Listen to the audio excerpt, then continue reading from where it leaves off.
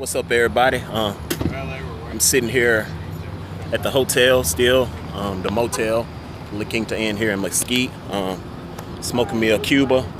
Got this from, um, look, look at that. Got this from when I was in Aruba.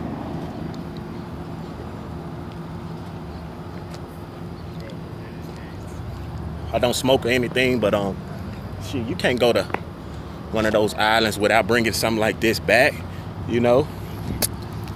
So, got me some of those. Um, and today, I talked to my trainer. I talked to him this evening.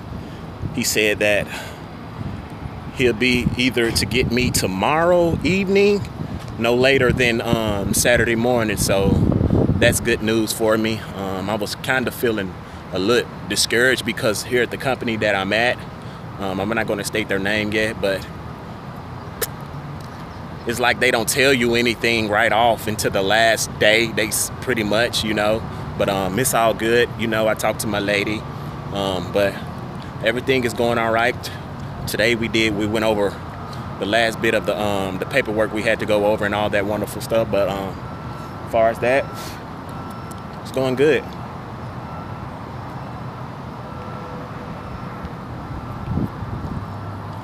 The company that I'm at, they offer a couple of different divisions. I was um, originally going into the to the reefer side of it, but um, found out a couple of things. Found out that it's probably something that I don't want to do, you know, um, because being in reefer, there's a lot of waiting time. I found out, you know, and I'm the type of person I don't like to sit still for very long, for a very long time. So I decided to go into the to the dry van to the drive van side of things, you know, because I know that I'll be running and I'll be able to get the miles that I'm wanting and you know achieve achieve some things that I'm wanting to do a little faster than what I expected.